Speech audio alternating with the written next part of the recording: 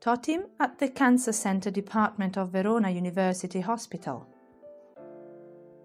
Position the wingboard rigid system. We normally use it for chest, breasts, or lungs, and to keep the arms in a stretched position above the head.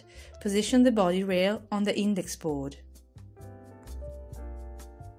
Unfold and position the Totim device in order to activate it. The patient sits in the center of the Totim cushion in order to test the correct position. Inform the patient about the posture while the cushion is expanding.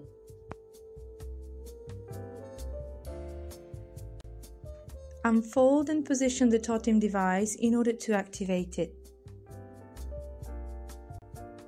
Press on the bag inside the cushion in order to open the central seal and activate the reaction, mixing the bicomponent for 30 seconds roughly.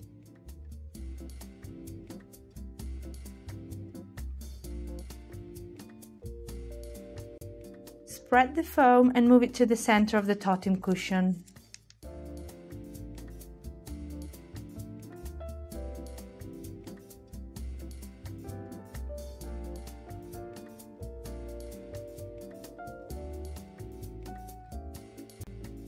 Carefully position the patient in the middle of the Totim cushion so as to displace the form uniformly.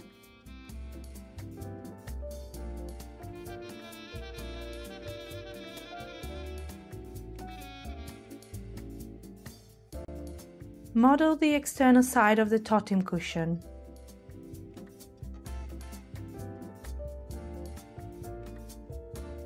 Set up the belt for the abdominal compression. This helps induce the foam vertically.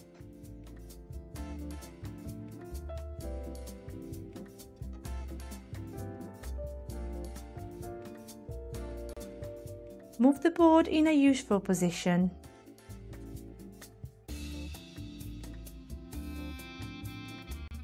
Now write the index. Position the Totim device for a few minutes on a flat, rigid surface for the final hardening. The completed Totim cushion will remain rigid for the entire treatment until its disposal.